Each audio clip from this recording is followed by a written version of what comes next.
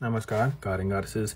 At what age did you obtain your favorite color?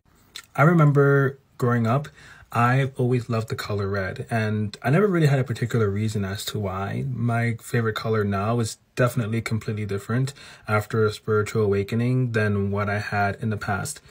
My favorite color was red because, well, it just looked cool, it felt powerful, and you know, in Vedic astrology, this is very related when it comes to the color red, um, it's associated with one of the planets being Mars, in Sanskrit also known Mangala.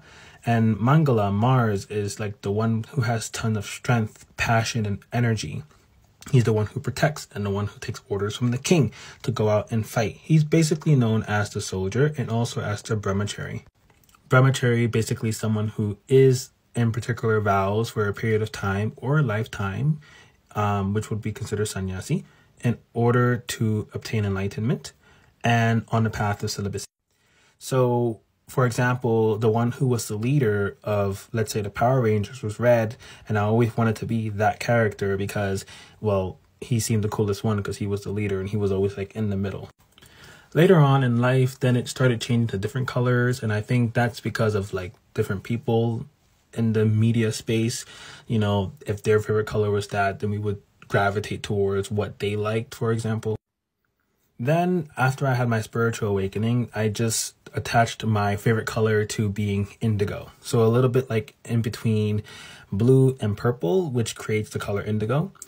And then I, again, still felt like my favorite color to this day, I felt like at that time my favorite color was basically being chosen based on an idea, right? It didn't come from me. It didn't come from like inside of me as in this like I love this color. Like it didn't felt like me. It felt more like, oh, it represents the third eye. Okay, that's my favorite that's my favorite color now.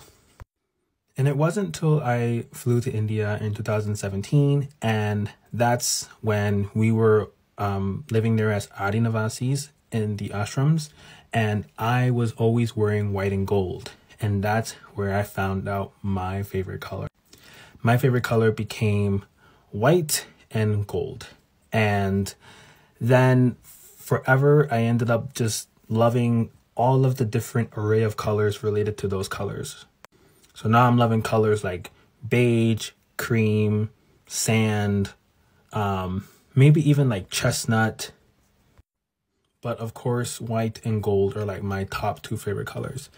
I would choose it any day to wear. Even now, I'm wearing beige.